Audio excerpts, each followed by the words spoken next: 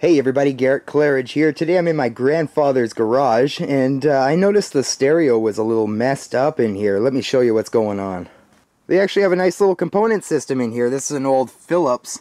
This is the PA5110B amplifier. That's a pretty solid old unit. And there's the old uh, tuner that matched it. And then a Kenwood 5 disc player. I don't even know if these guys have any CDs. Now the speaker setup in here is what really caught my attention. We got a couple of these Aiwa little boombox speakers. And here's where it gets real fun. We have a set of Paradigm bookshelf speakers.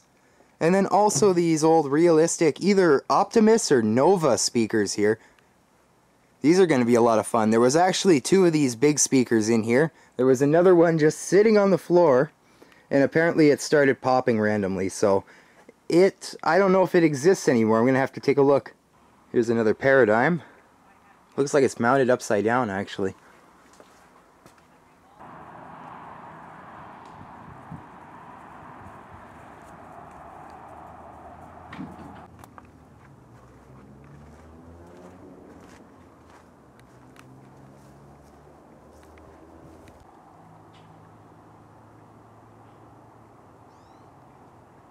So I'm looking through all these trucks looking for the speaker cabinet that apparently is still around. It's going to look pretty raunchy. It's going to be good. But uh, just a little off topic here. Look at this.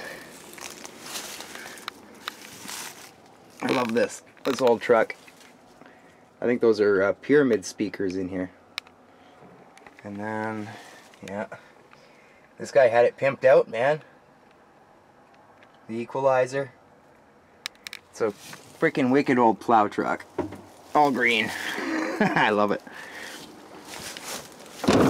It's actually, I think it's a crane truck or something. Plow and crane truck? I don't know. Half these trucks are plows too. Okay, so there's a problem. This truck is not a truck, it's actually a trailer. It's a truck that's been cut off and turned into a fucking trailer. Yes. Every time I try to get in the back of it, the whole cocksucker flips up. I don't know if I can get the. Look at this. Fuck.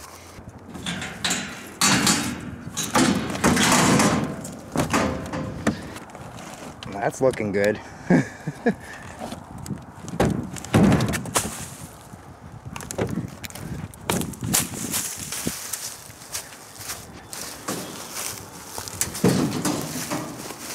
So it's a few days later and I brought all the speakers back to the workshop here. We have the Paradigms on the bench. There's the one Aiwa, the other one was blown stiff, and the two realistic Novas. So I ended up having a little accident while I was taking the Paradigms off the wall. Instead of grabbing the step ladder like I should have, I jumped up on their big air compressor, ended up holding one of these Paradigms over my head, launching it backwards, and then, I don't know, I guess I threw the speaker first and I fell right behind it, and I ended up falling in like this uh, weird stuntman tuck and roll kind of position. But I didn't think it was a big deal at first, but after a couple days, I'm starting to feel the pain. oh crap. So that's what I thought. Maybe it was blown before, but chances are when you drop a speaker off the ceiling, the woofer locks up. That one's working fine. To see what the heck's going on in here.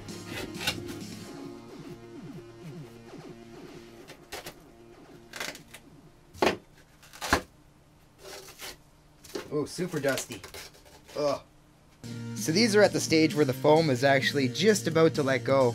You can see the glue let go and a couple little cracks, but it is a little harder to rip this foam than normal.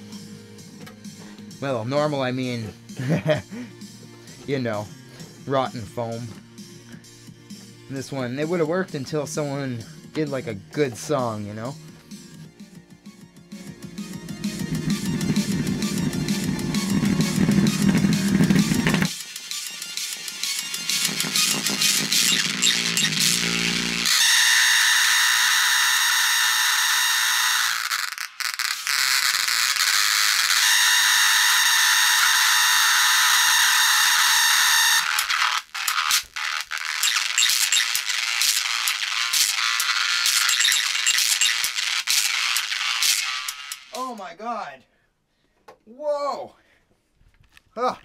We got.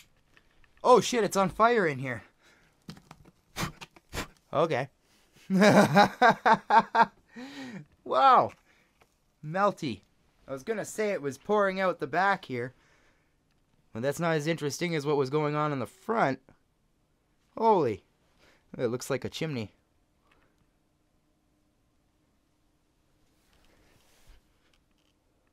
Here's that little Aiwa boombox speaker. Aiwa.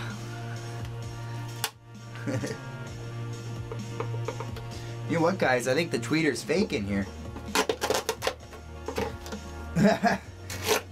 really? Okay.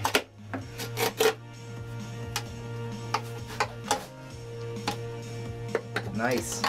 Looks like they had a... Oh, there's a little piezo in there. Is it? No way.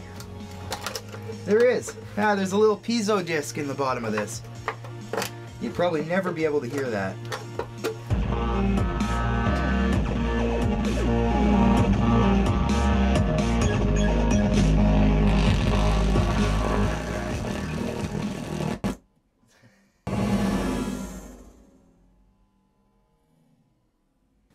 So here we have an old pair of realistic Nova 7Bs.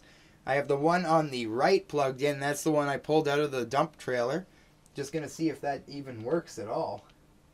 Oh yeah.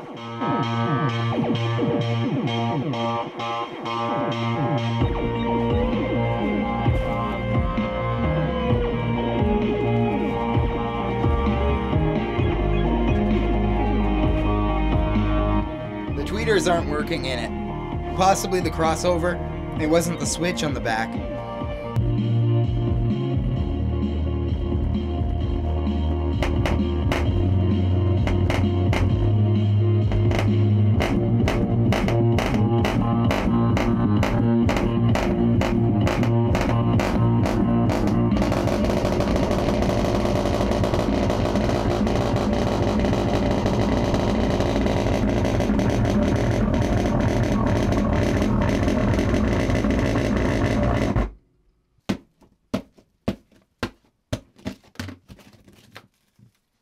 Probably gonna find a mouse in here.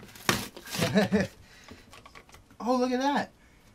The old ones use the like a like an aluminum basket that would break real easy, but that's just a normal one. I'm gonna get zapped if I don't turn that amp off.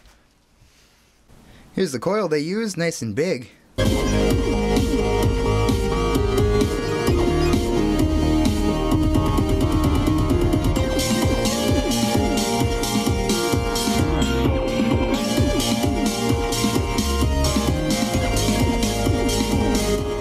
Definitely have tweeters on this one.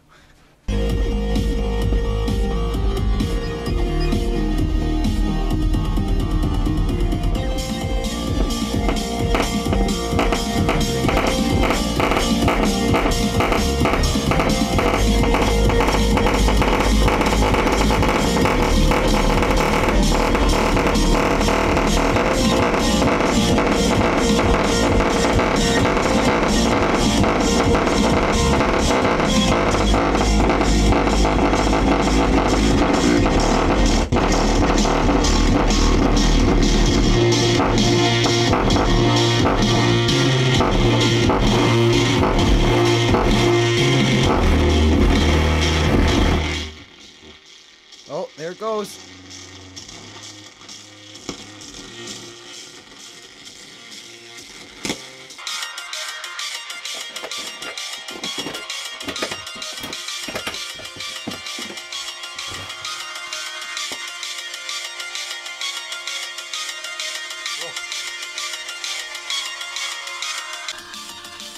So I'm thinking this is the only tweeter that's actually working in these cabinets. Not for long.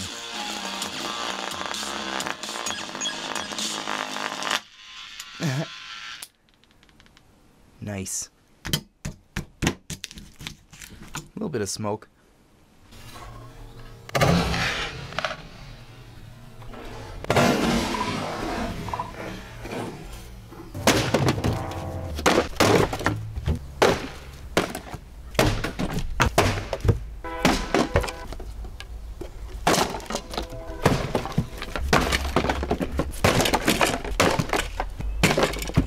What are the chances these still work after all that bashing around? These are those paradigm tweeters.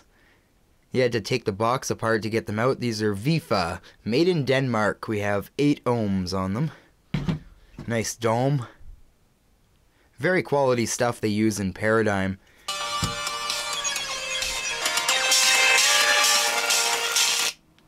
Ah, there she goes.